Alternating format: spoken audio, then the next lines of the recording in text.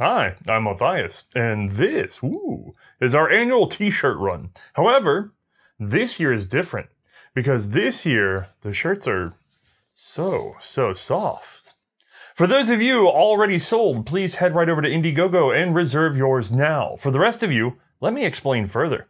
C&Rsenal is an extremely heavy and expensive program to make from a YouTube perspective. We're actually more like the leanest TV style documentary you could possibly get.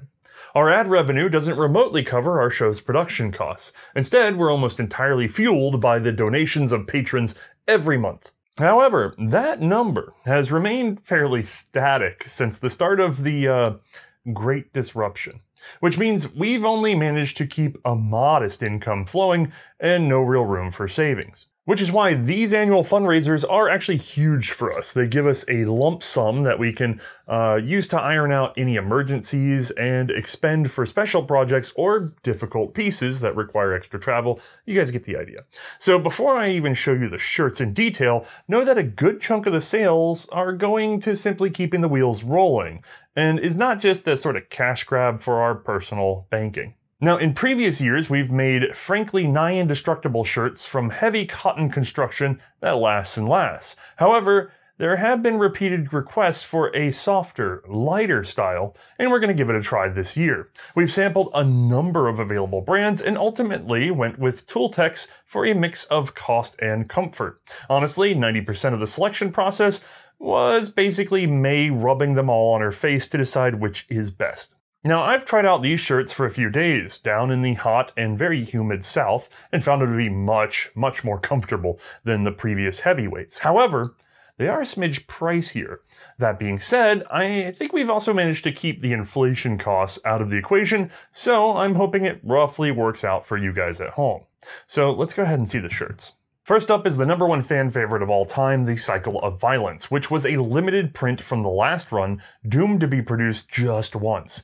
Well, if we do a recolor on a new material, I think we can kind of get by with just one more print of this shirt. I actually got a lot of requests for additional copies of this shirt after last year's were done, so this time make it count. Lots of people like them, even if they are not into old guns, so they make great presents. Seriously, you probably want a spare.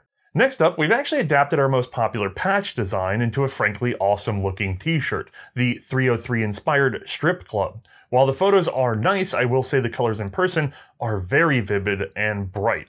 This one is May's favorite right out of the box. I highly recommend it. And rounding out the repeaters, we are again offering a plain C&Rsenal logo shirt with May and myself on the sleeve. This time in a sort of OD green color, again on the super comfy t-shirt guaranteed to gather more snuggles than usual from the female of the species. This assumes, however, that you can get within touching range of the female of the species without catching a charge. Good luck, gentlemen.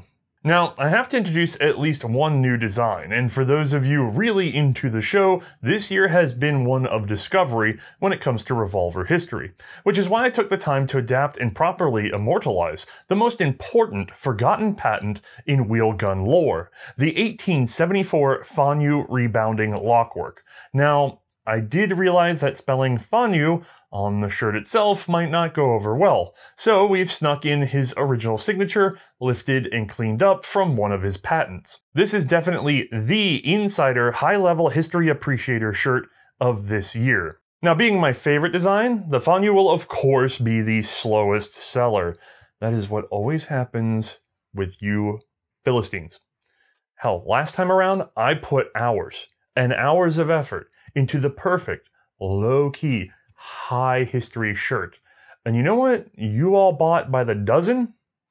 Cycle of Violence, a shirt that I slapped together in like 40 minutes. Well, fine. I've learned my lesson. I spent exactly 15 minutes on this next design. It is the laziest thing I have ever done for this show. In a fair world, it would be our slowest seller. So, for the sake of my sanity, do not buy a plain gray t shirt that just says old guns on it. It's horribly generic, completely lacks subtlety or nuance, and has zero professional effort behind it. It's a feckless, literal fifth wheel cash grab, and if you buy it, I hate you. I can already predict it will outsell my favorite.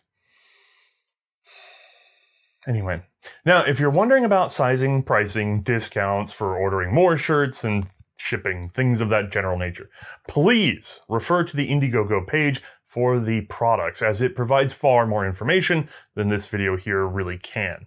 One thing I will cover is that these are a pre-order item, so we'll collect funds for 30 days then, with the totals for each shirt in hand, begin production. This allows us to keep the costs as low as possible because we know exactly how many shirts to order and don't have to maintain an expensive overhead inventory, risking being overstocked or selling out. That means that these will start to deliver around early December, just in time for the gift giving season.